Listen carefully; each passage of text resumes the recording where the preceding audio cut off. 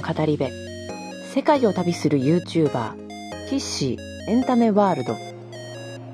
本日は京都今出川イタリア料理の老舗カーサビアンカさんです。美しくて気取りがなくてきちんとしていて楽しい。そんなお店です。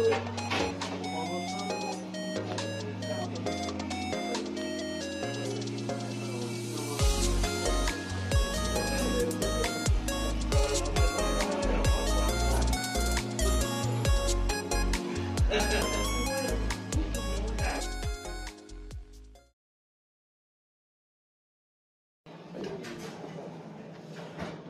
礼いたします。はい、シェフのおすすめランチをいただきました、え京都の語り部世界を旅する YouTuber 岸です。先週はリッツ・カートンホテルのラ・ロカンダのレストランテでイタリアンをいただきました。今日は何というお店ですか？カーサビアンカ。さん白いオレンジカーサビアンカでございますね。はい。そちらで、えーおお食事でございます。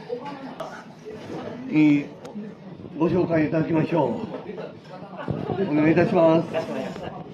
えー本日右手のカップに入ったものからほうれん草でお作りしましたパンナコッタと手前の方に、えーえークロスティーニですね。鶏のパテを添えて真ん中魚介のマリネ奥の方にユニとベーコンを使用しました。パテ上にコンソメのジュレを添えております。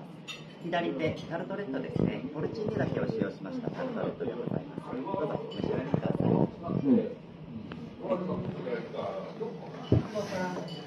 ということで。それでは招待いたしましょう。はい。こ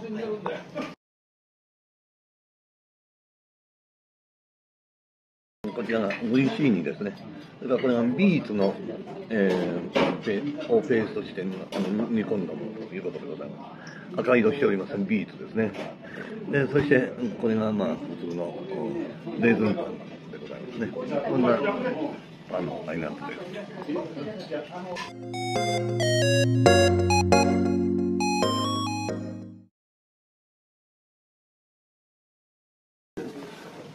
お野菜とモッツァレラチーズのスフレありがとうございますお野菜とモッツァレラチーズのスフレありがとうございます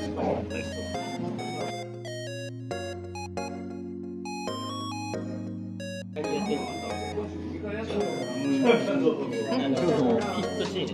パスタが出てまい。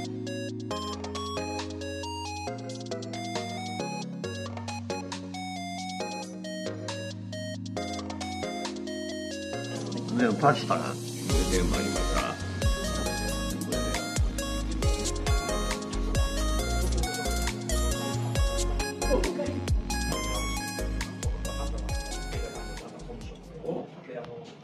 したことで奥様と。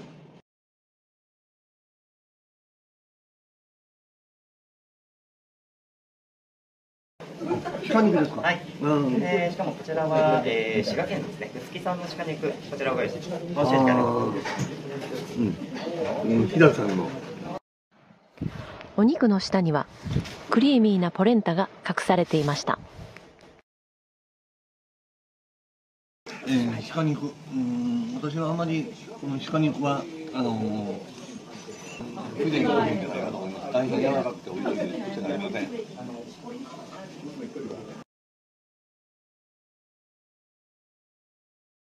上のケーキから、こちらレーズンとキャロットのケーキ、でえーチョコレートのムースと、えーシャーベットが、えーヨーグルトとミントを使用しております。それからカスタードですね。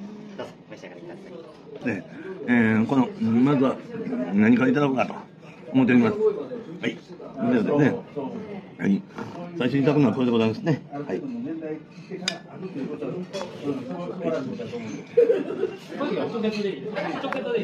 ミントとシャーベットでございます。やはりデザートは食べてミントを食べて。